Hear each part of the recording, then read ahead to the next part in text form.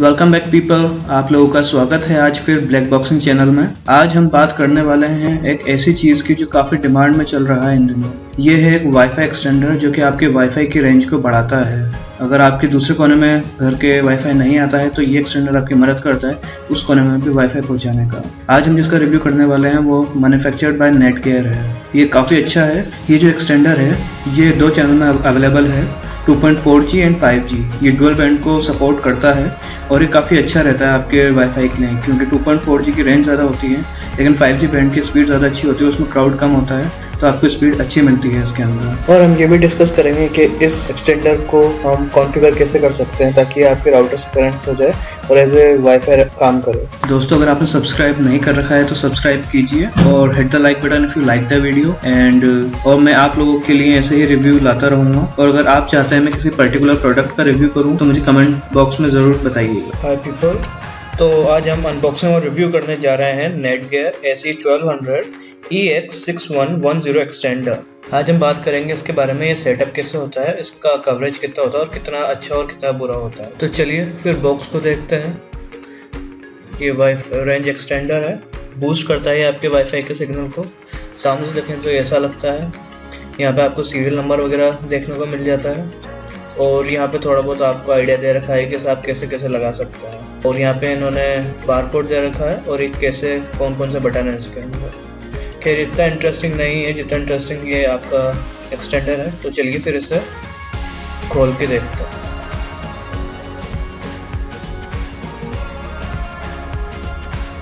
तो फिर ये हमने अनबॉक्स कर लिया है तो इसके अंदर से ऐसे इस पैकिंग के अंदर निकलता है। और इसके अंदर एक क्विक स्टार्ट गाइड है हमारी, और ये हमारा डिवाइस है, जो कि ऐसा दिखता है डिब्बे के अंदर। चलिए इसे बाहर निकाल के देखते हैं, और इसे अनरैप करके देखते हैं इसके अंदर। कैसा कैसा दिखता है। अगर आप देखें तो यहाँ पे चार लाइटें हैं जो आपको हेल्प करती हैं कनेक्शन एस्टेब्लिश करने के लिए। और यहाँ कुछ बटन दे रखे हैं।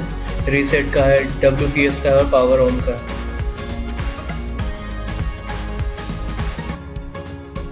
और यहाँ पे सॉकेट दे रखा है सीरियल नंबर वगैरह यहाँ पे दे रखा है। ये वज़न में काफ़ी हल्का है और ये आपके एक हाथ के अंदर ही आ जाता है। साइज़ में इतना ही है। तो फिर अब हम इसे आउटलेट में लगाते हैं। आउटलेट पे लगाने के बाद सबसे पहले इसके अंदर एम्बर लाइट जलेगी पावर की। और जो कि रेड में टर्न हो जाएगी और लगभग एक मिनट के बाद वो पावर लाइट ग्रीन हो जाएगी। और फिर हम अपने लैपटॉप या फिर कंप्यूटर पर जाएँगे एक्सटेंडर का सेटअप विजार्ड स्टार्ट करने और अब हम हमारे लैपटॉप के ऊपर आ चुके हैं। यहाँ पे हमें वाईफाई का आइकन ढूंढना है, जो कि लोअर राइट हैंड साइड के अंदर होगा। हमें वहाँ पे जाके क्लिक करना है। वहाँ पर हम देखेंगे कि मैं अपने वाईफाई से ऑलरेडी कनेक्टेड हूँ। तो हमें देखना है नेटगेयर के नाम से एक वाईफाई इसके अंदर आएगा। हमें उसे जाके कनेक्ट करना है। और कनेक्ट होने के बाद ये हमारे सामने ब्राउज़र खोल देगा, जो कि कुछ इस तरह से दिखेगा। तो फिर यहाँ से हमारा सेटअप विजार्ड स्टार्ट होता है, और अगर हम हमारे एक्सटेंडर पे जाके देखेंगे अब तो हमें वहाँ पे दो ग्रीन लाइट्स दिख रही होगी। कुछ इस तरह से। और अगर आपका वो पेज डायरेक्टली नहीं खुलता है, आपका एक्सटेंडर कनेक्ट होने के बाद तो आपको कोई वरी करने की ज़रूरत नहीं है। आप ब्राउज़र में जाकर उसे मैनुअली टाइप कर सकते हैं www.mywifi.ext.net और ये और ये लिंक आपका सेम वेब पेज खोल देगा, जहाँ पर आपको जाके न्यू एक्सटेंडर सेटअप के ऊपर क्लिक करना है। जैसे आप न्यू एक्सटेंडेड सेटअप के ऊपर क्लिक करेंगे आपको नेक्स्ट स्टेप की तरफ़ लेकर जाएगा। और वहाँ पे आप प्रोसीड करना होगा फर्दर स्टेप्स के साथ। इस स्टेप के अंदर आपको नेटगेयर के साथ एक अकाउंट क्रिएट करना पड़ेगा ईमेल पासवर्ड वगैरह, चीज़ें आपको यहाँ पर डालनी पड़ेंगी और अगर आप एक बार ये सारी चीज़ें डाल देते हैं तो हमें नेक्स्ट के ऊपर क्लिक करना नेक्स्ट स्टेप के अंदर ये आपसे पूछेगा कि आपको जीनी की हेल्प लेनी है या फिर आप मैनुअली करना चाहेंगे। मैं रिकमेंड करूँगा कि आप जीनी की हेल्प लें और वो काफ़ी आसान पड़ेगा आपके लिए। So click on yes not on manually तो यहाँ पे आपको कुछ इस तरह से दिखेगा। इस स्क्रीन के ऊपर आपके आसपास जो भी वाईफाई अवेलेबल है, उस वाईफाई को सर्च कर रहा है स्कैन कर रहा है। तो जितने भी आपके आसपास वाईफाई होंगे, उसे स्कैन करके आपके सामने डिस्प्ले कर देगा। यहाँ टॉप पे मुझे मेरा वाईफाई दिख रहा है। इसके सारी बार्स आ रही हैं तो मैं ये चूज़ करूँगा। ये जो है आपको 2.4 गीगाहर्ट्ज और 5 गीगाहर्ट्ज ये दोनों बैंड को सपोर्ट करता है। तो ये दोनों आपको चूज़ करके फिर आपको नेक्स्ट पे क्लिक करना है। ये वही वाईफाई होगा जो आपके घर के ना ऑलरेडी है और जिसे आप एक्सटेंड करना चाहते हैं। सो ये सेलेक्ट करने के बाद नेक्स्ट करिए। अब यहाँ पे आपका जो एग्जिस्टिंग इंटरनेट है एग्जिस्टिंग वाईफाई है, उसके लिए आपसे पासवर्ड पूछेगा। यहाँ पे आपको उसका डिफ़ॉल्ट पासवर्ड डालना है, जो कि आपने ऑलरेडी सेट कर रखा है। यहाँ नीचे आपको शो पासवर्ड का ऑप्शन भी है। अगर आप चाहें तो क्लिक शो पासवर्ड करके ये श्योरिटी ले सकते हैं कि आपका पासवर्ड सही है या नहीं है। पासवर्ड डालने के बाद हम नेक्स्ट के ऊपर क्लिक करेंगे। और फिर आपको ये स्क्रीन देखने को मिलती है। यहाँ पर आप चाहें तो आप अपनी एक्सटेंडर की एस चेंज कर सकते हैं। चाहे तो जो डिफ़ॉल्ट है वो भी रख सकते हैं और चाहे तो आप अपने नाम पर भी इसे रख सकते हैं। और यहाँ पर आप पासवर्ड भी चूज़ कर सकते हैं। तो आप डिफ़ॉल्ट पासवर्ड जो आपके राउटर का है वो भी रख सकते हैं। और चाहे तो आप कस्टम पासवर्ड आप अपना अलग से भी लगा सकते हैं। और चाहे तो इसके ऊपर कोई पासवर्ड भी नहीं रख सकते। सो उसके लिए आपको नन सेलेक्ट करना होगा।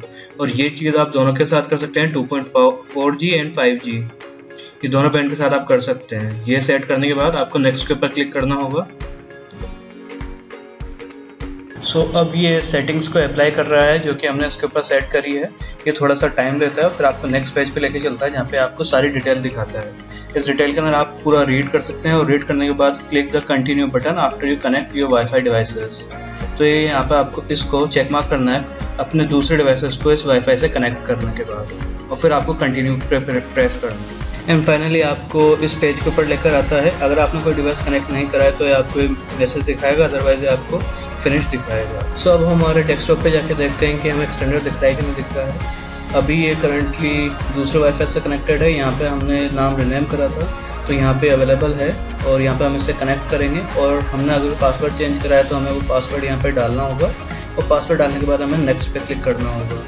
नेक्स्ट पे आप जैसे क्लिक करेंगे वाईफाई नॉर्मली वाईफाई की तरह कनेक्ट हो जाएगा और आपका वाईफाई सिग्नल जितना आपके राउटर के थ्रू आता है, उतना ही उतना ही फास्ट ये एक्सटेंडर के थ्रू भी चलेगा। इसे चेक करने के लिए हम ब्राउज़र पे जा सकते हैं और ब्राउज़र पे जाके हम कोई सी भी वेबसाइट खोल के देख सकते हैं। लेट्स गूगल ही खोल के देखते हैं तो गूगल हमारा खुल रहा है यहाँ पे काफ़ी आराम से। और ये कनेक्टेड भी दिखा रहा है और सिक्योर दिखा रहा है सो ये फुली वर्किंग है। इससे पहले कि हम इस वीडियो को ख़त्म करें मैं आपको दिखाता हूँ कि एक्सटेंडर के ऊपर कौन कौन सी लाइटें जली रहती हैं।